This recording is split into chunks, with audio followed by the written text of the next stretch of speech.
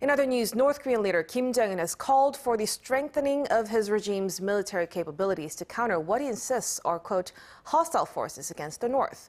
But he has also underlined that the move is not aimed at Seoul or Washington. Our North Korean affairs correspondent Kim Dami reports. The North's leader Kim Jong un has criticized the U.S., saying that there are no grounds to believe that Washington is not hostile toward Pyongyang. According to the North State media on Tuesday, Kim made the statement Monday in a speech at a defense development exhibition to mark the 76th founding anniversary of the ruling Workers' Party. He went on to accuse Washington of creating tensions on the Korean Peninsula and said such tensions will not be easily resolved because of the U.S. Kim also denounced Seoul for being, quote, hypocritical and having double standards for continuing to boost military capabilities.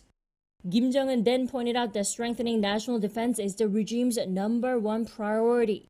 Yet, he made sure to note that such a move is not intended to target a specific country like the South or the US, adding that the North's main enemy is war itself.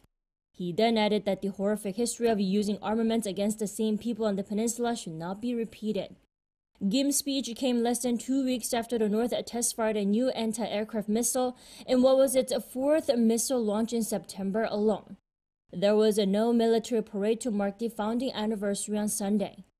Instead, Kim Jong-un delivered a speech that he will work towards improving his people's living conditions, pledging to resolve issues related to food, clothing, and shelter for the next five years.